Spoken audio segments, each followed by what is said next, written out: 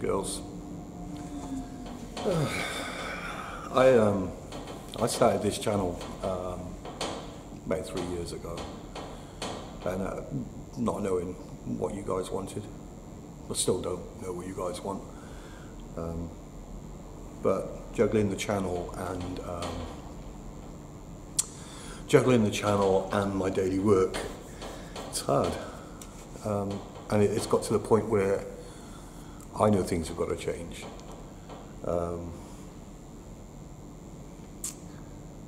things have got to change. Things have to change.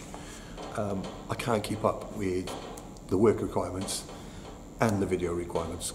Making a video for you guys takes forever. It's worth it. I love it. I love seeing the, uh, the finished product. I hope you guys do too, because otherwise, why am I doing it? Or why was I doing it? So yeah, things really do have to change. The channel's only gone and got itself a sponsor, hasn't it? Look at this! ah, well, go. So to cut a long story short, I contacted Xtreme uh, basically to see if parts were still available for one of their earlier tables. And I was talking to a guy called Rob. Now, Rob, unbeknownst to me at the time, is the managing director of, of Xtreme Engineering. Rob sent me a message the other day. He said, are you in work on Tuesday? I said, yeah, yeah, I'm in work on Tuesday. Of course I am. It's Tuesday. It's a working day. He said, are you there all day? I said, yeah, I'm here all day.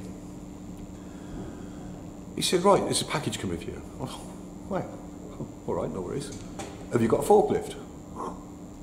Um, well, yeah, I've got a forklift. Good, he said, because you're going to need it. And then that came. So the question is, what's in the box? It's a bloody big box.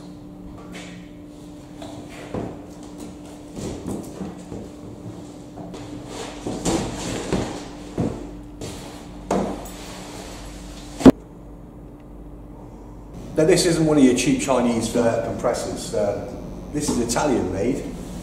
Um, and it feels nice. You know, these, these, these, these just feel good. It's got a 200 litre tank and a 3 horsepower engine. That motor is some serious kit, honest to God. The pump uh, is a cast iron head. Um, that'll aid in longevity, it'll last longer. It's a slow running pump, so it's not having so many revolutions on the, on the crank. Bearings will last longer, everything will run smoother. So it's of your cheap Chinese crap. This is an Italian made unit and it, it well, it's just it's quality. It's not, it's quality.